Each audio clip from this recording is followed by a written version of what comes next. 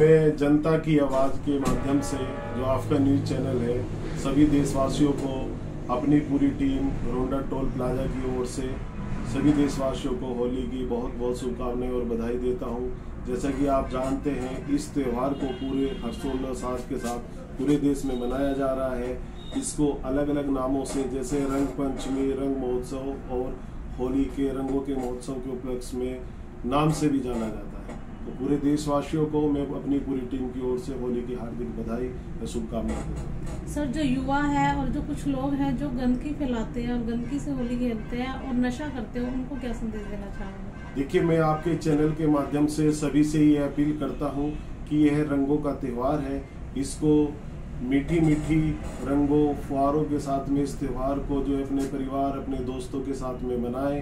किसी भी प्रकार की जो है नशे से दूर रहें और ये रंगों का त्यौहार है। इसको आपसी प्रेम भाव प्रेम भावना से इस त्यौहार को मनाएँ और परिवार के बीच बैठ के होली का जो है अपने परिवार के बीच में होली को मनाएँ। जी सर आपका परिचय?